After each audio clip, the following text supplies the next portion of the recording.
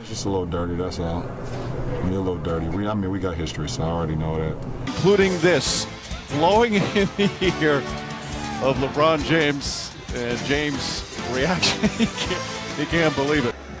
Hey, I'm all about winning. I just want to win and be the leader I can be to this team to help us succeed. Stephenson, as James did it to him down the other end on his field goal attempt. They're having fun already. I'm gonna get under you. I'm gonna, I'm gonna, I'm, I'm gonna do something to get you married. Now he's trying to do it to me. So.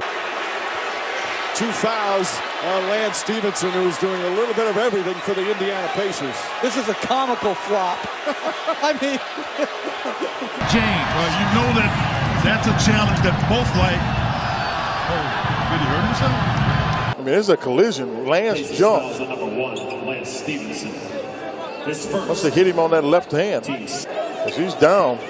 I'm not sure what Lance was doing. Indiana back in front. Ball goes out of bounds. Oh, here comes Stephenson getting him LeBron's chest. Oh, a shove. That's what the crowd was obsessed about. Yeah, well, see,